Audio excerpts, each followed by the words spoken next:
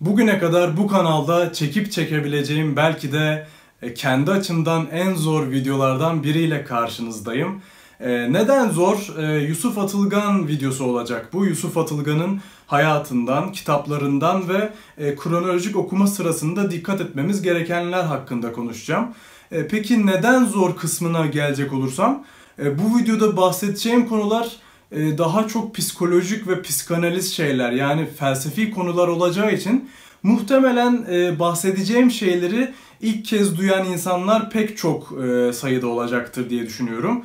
Hatta şöyle bir anahtar kelimeler sunacak olursam size bu videoda Türkiye'nin 1950'li ve 1960'lı yıllarındaki Demokrat Parti etkisinde gelişen kentleşme zamanlarını Ödip kompleksini, Lacan'cu psikanalizi, Husserl'ın fenomenolojisini, e, Hegel'in yabancılaşma tanımını, Nietzsche'nin bütün ahlaki değerleri reddedişini, Kierkegaard'ın ülküsel sevdasını ve Aristo'nun katharsisini konuşacağız. Evet şu an gözünüz korkmuş olabilir fakat e, ben bunları e, çeşit çeşit makalelerden, biyografi yazılarından ve tezlerden size böyle salt özünü çıkararak kolay hale getirmeye çalıştım. Çünkü bunları anlamak gerçekten kolay değil. Benim için de sizin için de kolay olmadığını düşünüyorum. E, hem felsefeye giriş olması açısından böyle e, farklı görüşlere sahip filozoflardan size Yusuf Atılgan'ı nasıl değerlendirebileceğimizi söyleyeceğim. Hem de tabii ki de Yusuf Atılgan'a Yusuf Atılgan'ı nasıl okuyacağımız hakkında çeşitli ipuçları sunacağım size bugün. Şimdi Yusuf Atılgan'ı hakkıyla e, burada konuşabilmem ve e, bütün özelliklerini inceleyebilmem için saatlerce konuşuyor olmam gerekir. Fakat bu da e, tabii ki de YouTube için uygun olmayacağından dolayı size Yusuf Atılgan'ın hayatını çok çok kısa bir şekilde geçeceğim. Çünkü hayatı böyle hani Dostoyevski kadar böyle acılar içerisinde geçmiş diyemem. Tabii ki de bir hapishane süreci olmuş ve yani burada atsızla konuşmaları da olmuş. Bunlara değer veriyorum. fakat hayatındansa kitaplarına karşı farklı bakış açıları edinmeniz için e, daha geniş kapsamlı bir video olmasını istiyorum. E, zaten Yusuf Atılgan'ı Yusuf Atılgan aklınızda şöyle kalabilir. E, köyde yaşarken kent hakkında roman yazabilen ve kentte yaşarken de köy hakkında roman yazabilen gerçekten de benim Türk Edebiyatı'nda çok üst konumlara koyduğum birisi. Ve dediğim gibi Manisa doğumlu Hacı Rahmanlı köyünden köyünde doğmuş ve hatta 30 yıl köyde yaşamış. Yani e, burada bile aslında şehirli yazarlarla Yusuf Atılgan'ın farkını anlayabiliyorsunuz. Gerçekten köye sevdalı bir adam. Ee, dediğim gibi hayatındansa bu videoda daha çok Aylak Adam ve Anayurt Oteli adlı kitaplarına daha çok değinmeyi planlıyorum. Aslında Yusuf Atılgan olmayanı arayan biriydi. Zaten e, Aylak Adam romanı içinde kendisi demiştir ki bence aylak adam olmayanı arıyor. Yani e, onun aradığı sevgi bu dünyada yok. Gerçek sevginin bu dünyada olmadığını savunan birisi Yusuf Atılgan. Ve e, aslında romanlarını anlayabilmemiz için Yusuf Atılgan'ın yeni roman adıyla çıkmış olan türü anlamamız gerekir. Çünkü 1950'li yıllar daha çok Türkiye'nin Demokrat Parti süreciyle birlikte kentleşmeye başladığı zamanlar ve böylece e, hippicilik, anarşizm ya da doğallık gibi çeşitli akımların da çıktığı, şiirde ikinci yeni ve romanda da yeni roman denilen farklı farklı özgün türlerin çıktığı bir çağ. E, yani Orhan Kemal e, mesela Yusuf Atılgan'ın romanını okumuş Aylak Adamı.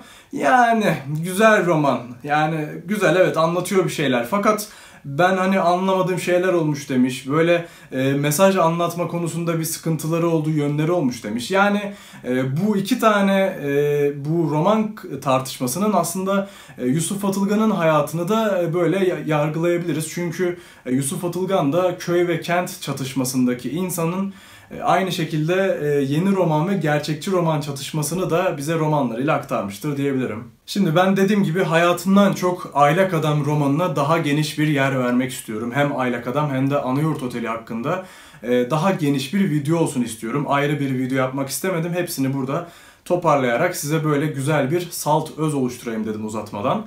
E, şimdi şöyle, e, Yusuf Atılgan neden geçmişin romanına ya da topluma karşı çıkmak istedi? Topluma karşı çıkmak istedi derken ne demeye çalışıyorum?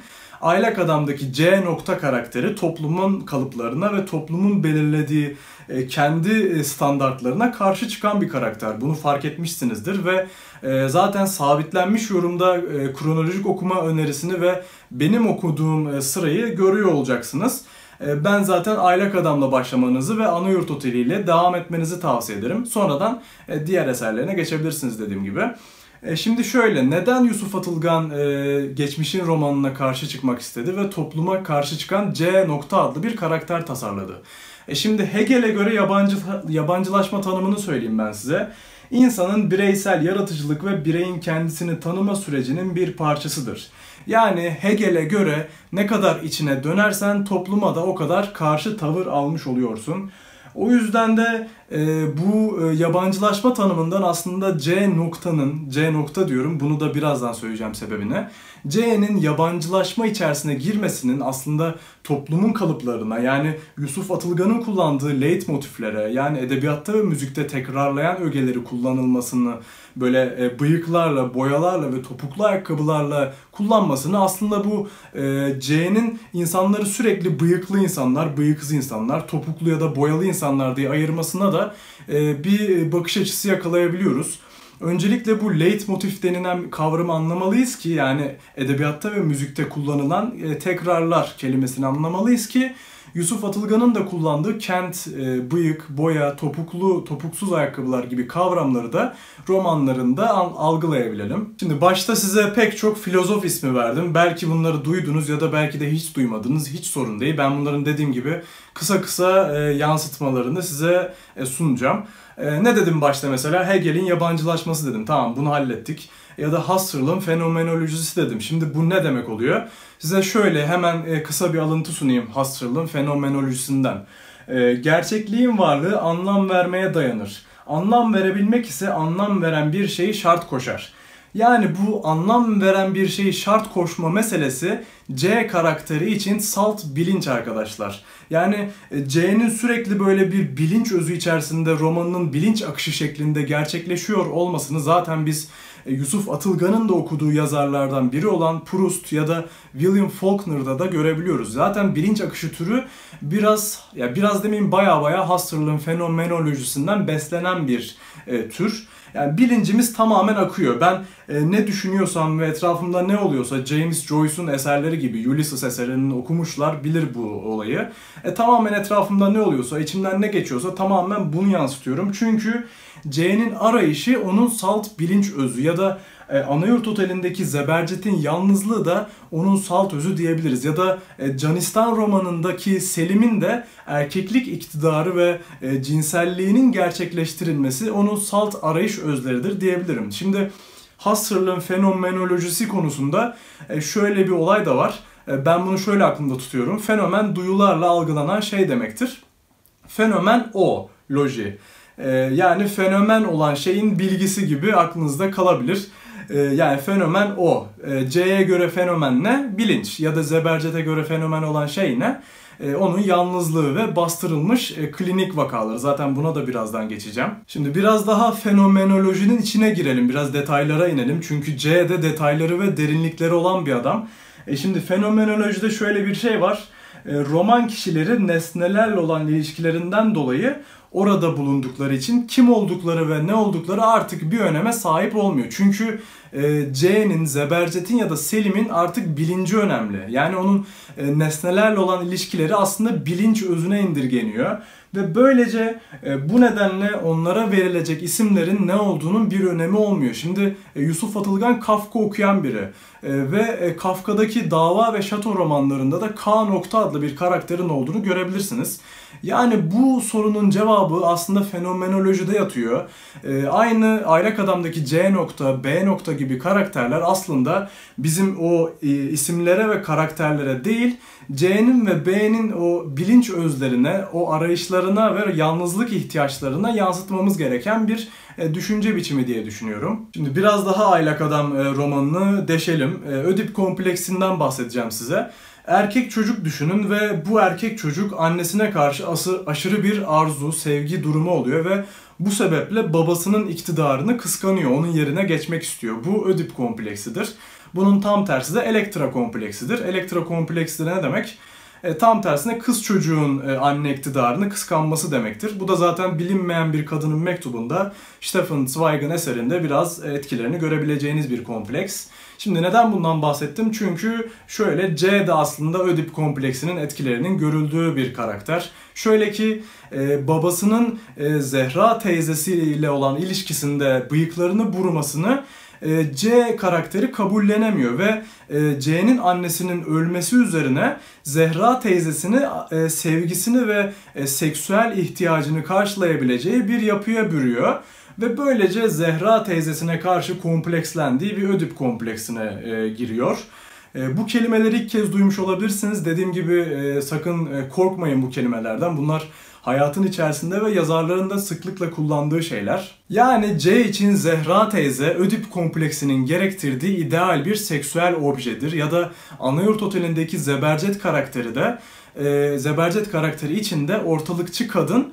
Onun için e, yalnızlığının e, ka, yalnızlığını nasıl diyeyim kapsayan, yalnızlığını gitmesine sebep olan bir ideal seksüel objedir. Ya da e, Canistan romanındaki Selim adlı karakterin de e, Maslow ihtiyaçlar hiyerarşisinin ilk basamağında bulunan sevişme ihtiyacını karşılayan e, karakter, ideal seksüel obje olan karakter Esma adlı karakterdir. Ya bu video daha çok zaten Aylak Adam, Anayurt Oteli ve Canistan romanlarını okuyanlar için daha çok bilgi verici bir video olacağını düşünüyorum. Aslında Freudçu bakış açısına göre e, doktorların sebebini bulamadıkları şeye nevroz demeleri ya da nevrozların sebebini bulamadıkları gibi C, Zebercet ya da Esma adlı karakterlerde de e, bir nevroz olma eğilimi var. Çünkü bu klinik vakalarla nevrozlar da zaten e, çok yakın ilişki içerisindedir. Zaten benim bu videoyu daha çok filozoflarla, psikanalistlerle ve psikologlarla bu şekilde hazırlamış olmam bence bu yüzden daha önemli bir,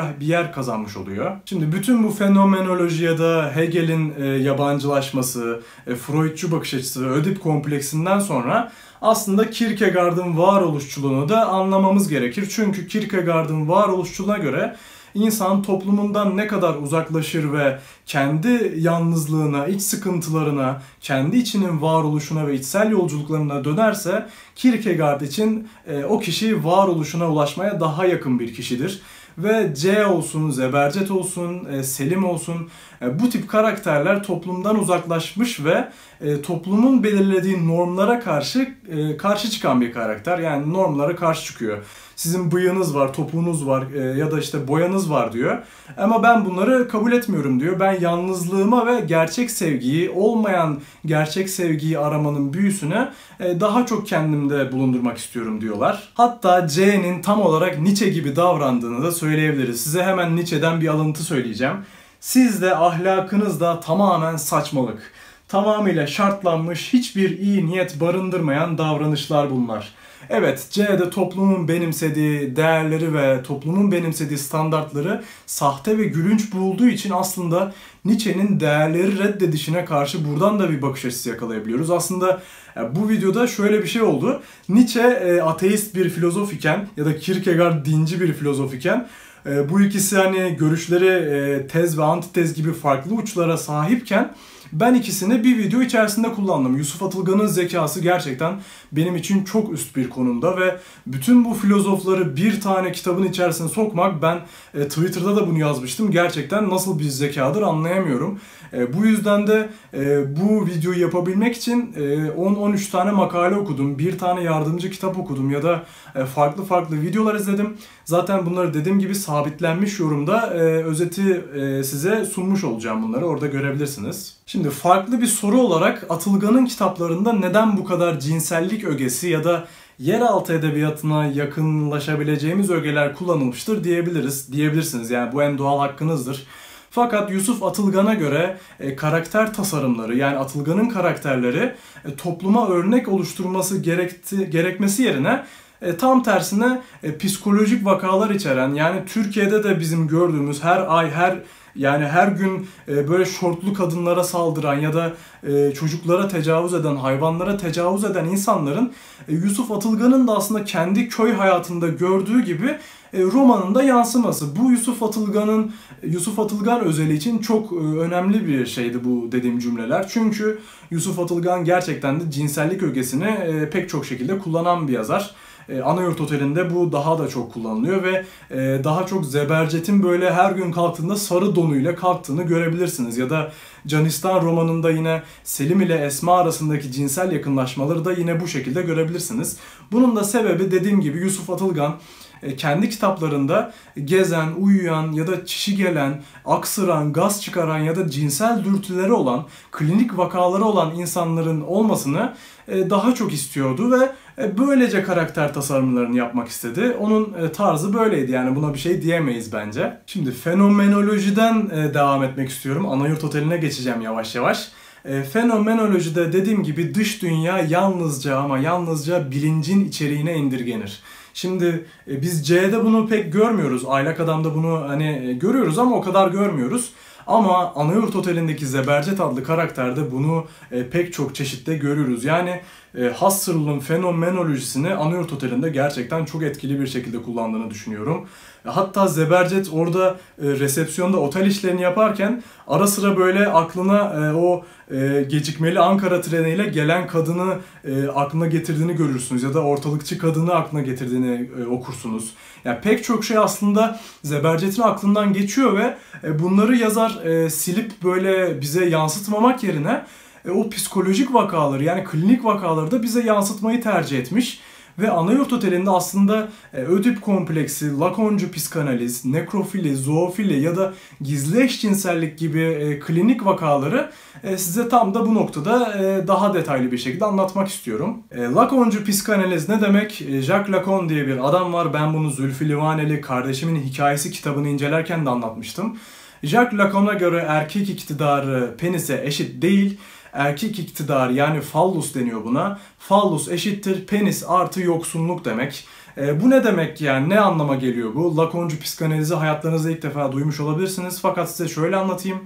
E, Lacan'a göre erkek iktidarı ya da şöyle diyeyim e, Aylak Adam'daki C karakteri ya da Zebercet yani Anayurt Oteli'nin baş karakteri Zebercet kendi iktidarını e, karşılayabilmek için o e, sığınılmış ve yalıtılmış olan mekanlardaki mesela Zebercet otelde yani sürekli hayatı otelde geçiyor.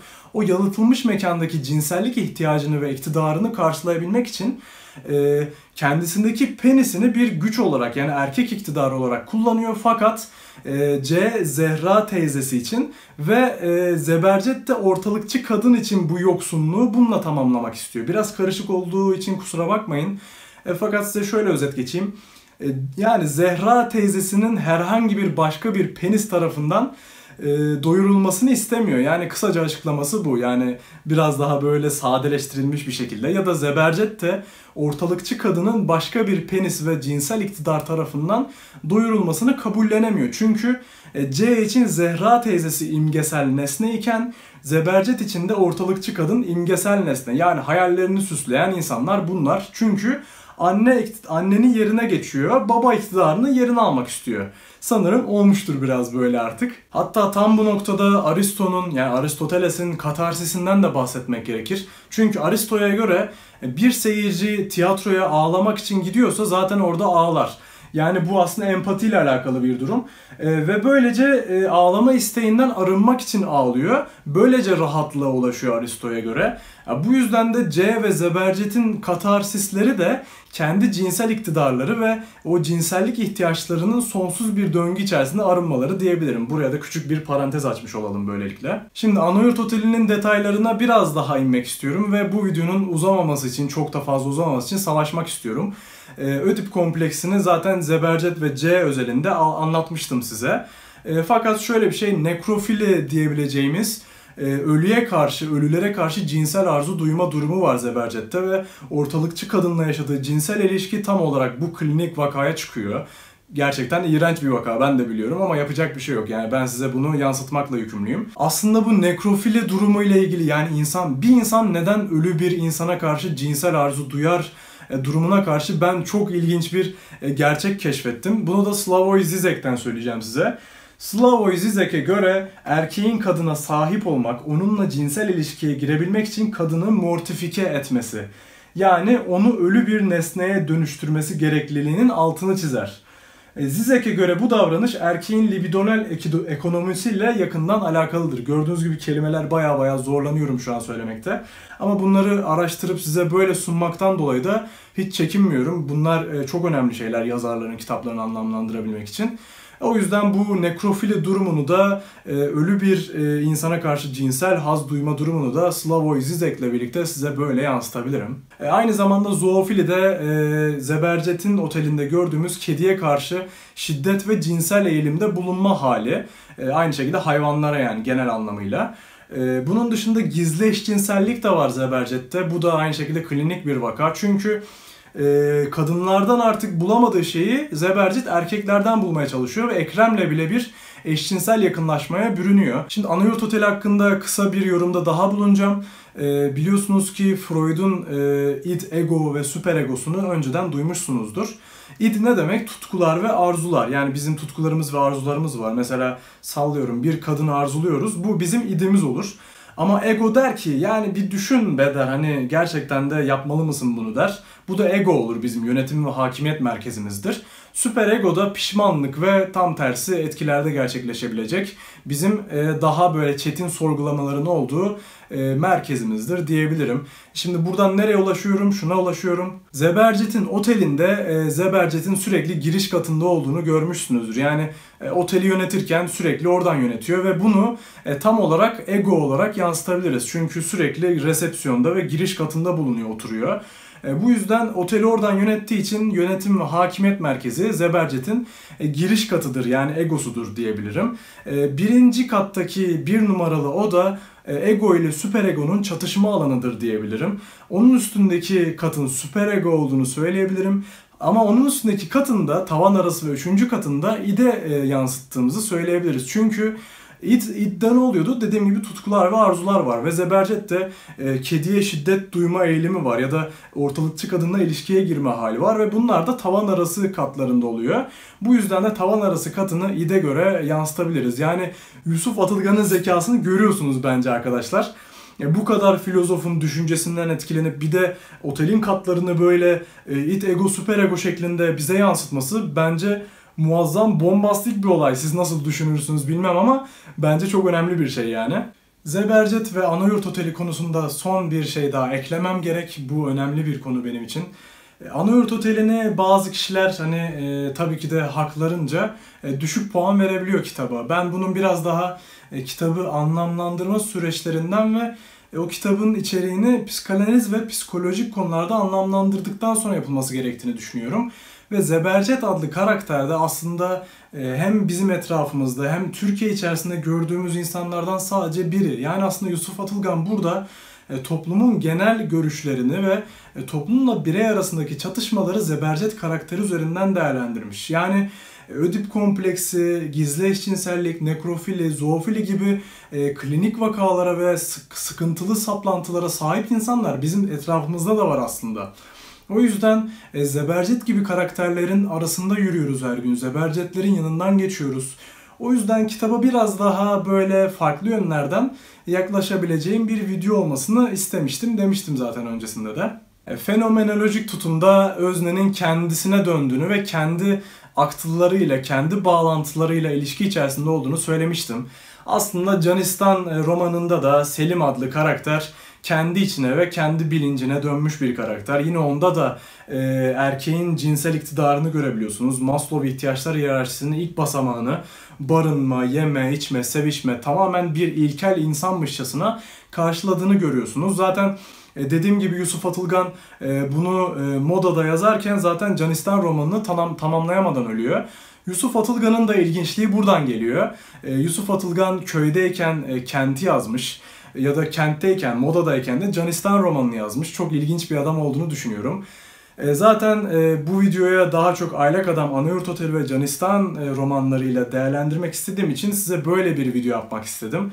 E, şimdi burada daha uzun böyle bütün öykülerini ve kitaplarına girmemiş yazılarını, çevirilerini, şiirlerini de size anlatırsam bu video 30 dakika, 40 dakika, 50 dakika olur. O yüzden böyle bir şey yapmak istemedim. Size daha çok internette böyle e, çok çok kaynakları araştırarak bulabileceğiniz ve saatlerinizi alabilecek şeyleri size sunmak istedim. Ee, dediğim gibi Aylak Adam, Anayurt Oteli ve Canistan bence Yusuf Atılgan'ın en önemli eserleridir. Fakat bütün öykülerinde de köy ve kent çatışmasını görebilirsiniz ya da e, eğer ekstra bir okuma yapmak isterseniz Yusuf Atılgan'a Armağan adlı 500 sayfalı e, Yusuf Atılgan'ın konuşmalarını, söyleşilerini, şiirlerini, Yusuf Atılgan'ın romanları hakkında yazılmış inceleme yazılarını görebileceğiniz muhteşem eseri okuyabilirsiniz. Ya da yine kitaplarına girmemiş şiirleri, yazıları, çevirileri şeklinde canlı yayınlarından çıkmış e, Siz Rahat Yaşayasınız diye adlı e, derleme eseri de alabilirsiniz. E, bu videonun şu an daha da uzamaması için size yavaş yavaş veda etmek istiyorum.